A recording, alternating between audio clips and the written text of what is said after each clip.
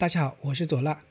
今天有一个叫财新 Express 的账号回复我说，关注我看相关报道。原来是上个月我在推特上说，看上去隋广义、马小秋、点一峰成为这两天的热门话题了。有人在做持续更新的新闻专题吗？他们财新做了报道，于是通知我来看。我看了一下他们的内容，我确信他们不是骗子，应该真的是前财经。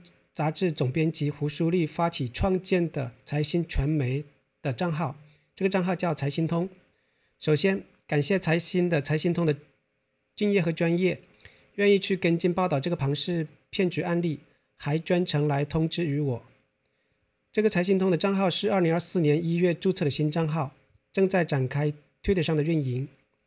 第二，我想要提供一些看法，你们的报道很棒。但是对于付费墙的存在的方式，我有一些建议。据我所知，有付费墙的媒体有《纽约时报》《华尔街日报》，还有你们财新。《华尔街日报》的链接我是从来不会点击开的，因为我每次点击都会有付费墙挡住了。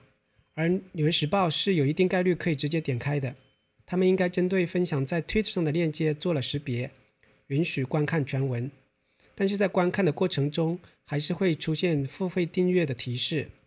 我觉得这是一个比较好的策略，并且他们针对搜索引擎，比如 Google 的爬虫爬过来的时候，他们也是让搜索引擎索引了全文的。我建议财新的数字营销团队不要给人刻板印象是一定会有付费墙挡住，要不然读者永远不会点开，也永远不会转推给别人，别人看到的也是被付费墙挡住的内容。我建议财新设置这样的付费墙规则。就是在社交媒体分享的前面二十四个小时，或者前面一千个点击者，可以毫无障碍地看到全文。这些来自社交媒体的观众会成为优质深度报道内容的推广者。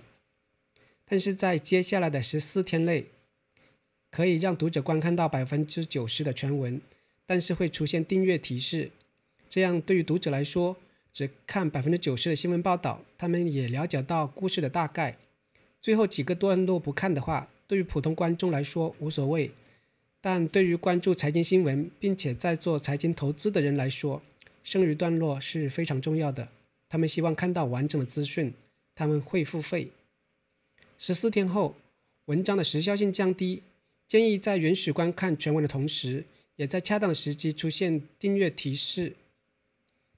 虽然文章内容已经没有时效性，但是也能够让后面偶然点到观众能够看到他们想看的内容，并且还得到了一次营销的机会。好酒也怕巷子深，我相信我前面提到的这些做法，兼顾了营收和营销的两个角度，也能兼顾读者的体验和商人的贪婪。不必完全遵循我的建议，请参考一下。